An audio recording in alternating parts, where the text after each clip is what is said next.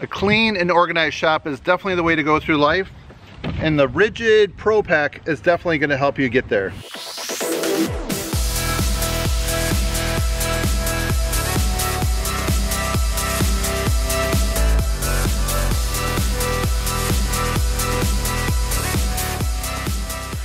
So here it is. This is the Ridgid 4.5 gallon 5.0 peak horsepower wet dry shop vac. So this one is a portable solution, model number WD45500.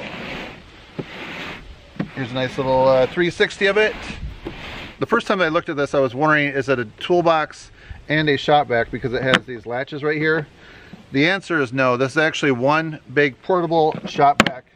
So it does run wet and dry it has everything you need right here. It's, it's just a really handy item. So instead of having the uh, big pull behind ones that you've seen, if you're going to transport with you, they're, they're really not that portable and easy to store.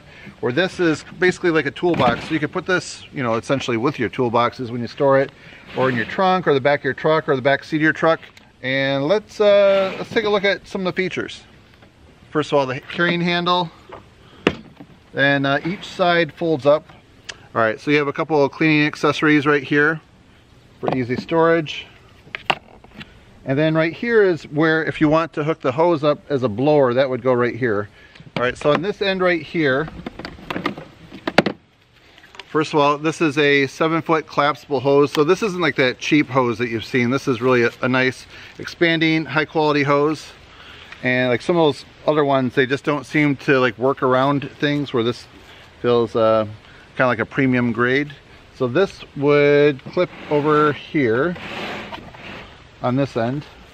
This is the intake. Okay. So if you want to extend it, here's some onboard storage right here for, let's see, you want to do some floor sweeping with this. Check it out. All right, let's go back over here a minute. Here's also another crevice tool right here, so that can go on the end. And then on the end of this right here, let me uh, aim it towards so you can see the sunlight is coming from there. If you twist that, that's a way to control the flow of it. So the suction, if you want it more, you close it. If you want it less, you can open that up and that'll kind of control so you're not having quite such heavy suction. All right, so if you want to use this as a blower, you can. Right here, that would be a blower. You know, I haven't tested out as a blower, so I'm curious. So let's, um, let me plug it in real quick. All right, so here is the power cord. I believe it's a 20 foot cord. Here's the switch ready. Make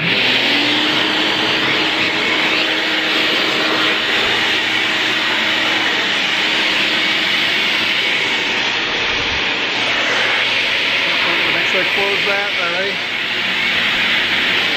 Okay, not bad. So as far as the blower feature works, this would work great for like going over to your compound miter saw or table saw, blowing all the sawdust off so it goes on the floor.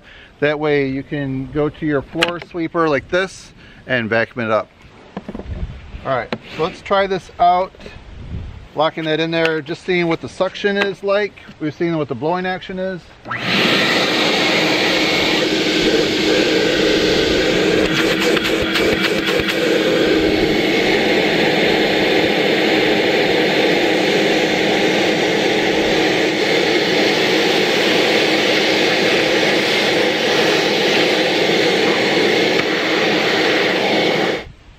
All right, let's take a look at the inside.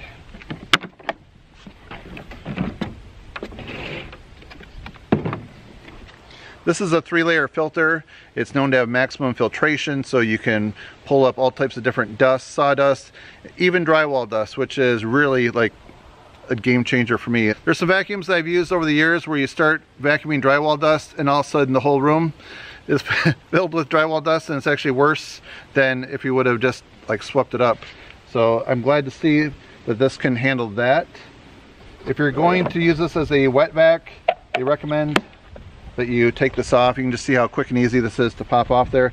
They do say that you can do a little bit of light uh, liquids with this, um, but if you're gonna do anything a little more substantial to take this off, and then if you do get it wet, that you should dry this out before using it again.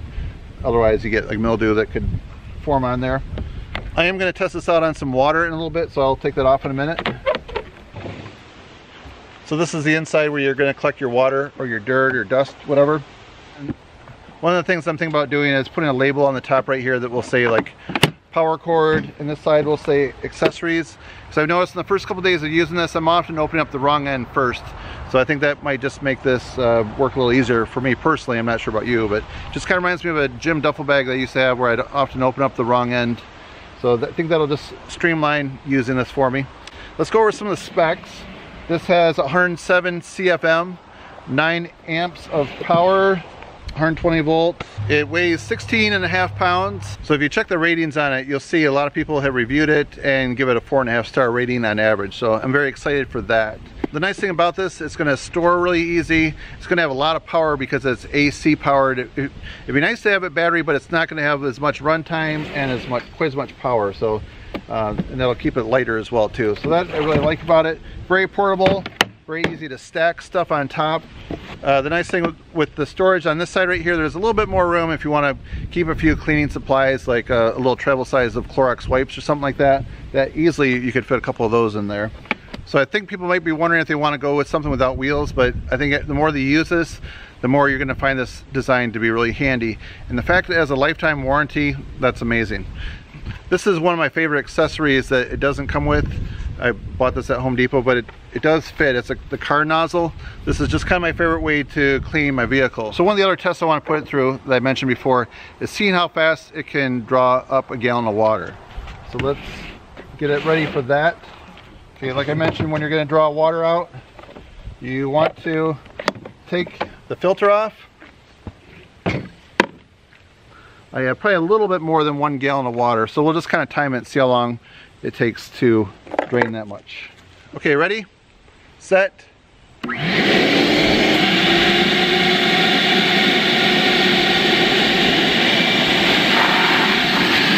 Done.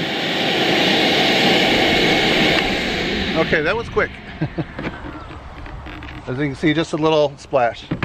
And that was just over a gallon. All right, so I will put that time down below how long that took in my post editing. All right, we're in my garage now. I have the floor nozzle. Right here is a bunch of sawdust I just made with about 20 roofing nails.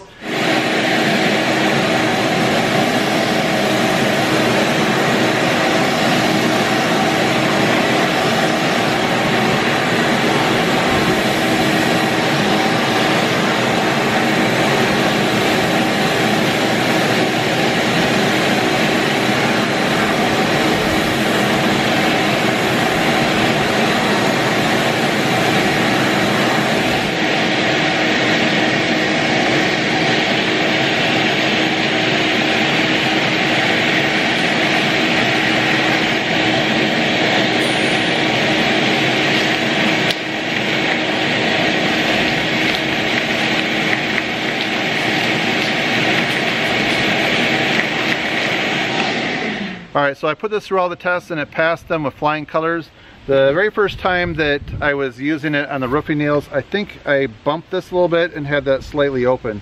So halfway through I made sure it was closed and the second time picking up the other 20 roofing nails, it did a great job. It seems to work a little better when you take this off and go straight to the roofing nails with this. At first I wasn't sure if I wanted something without wheels, but then when I started using this and just grabbing by the big handle, it seemed to work really well. I was thinking if I was working around some cars and wanting something that where this would wheel around. I do have a furniture dolly, those little four-wheel things, the carpet, they have carpet pads on them, and I could strap this down on that if I felt like there's ever an occasion out here on this big concrete area if I want to pull this around and do cleaning that way. But overall, I think it's just as easy to grab this and move it to your spot where you need it. any questions about this, please put them down below. I will have a link, a Home Depot link. Please check that out to get any specs that I haven't mentioned or see the reviews. And if you find this video interesting and informative, please give it a thumbs up and help support my channel. That's it friends, thanks for watching. See you next time. If you like this video, I think you might like a few other videos over there to the right, so please click on those. And if you haven't subscribed to my channel yet, hit that button down below. If you want to see what I'm up to throughout the week, please connect with me on Twitter and Instagram. All right, friends, enjoy.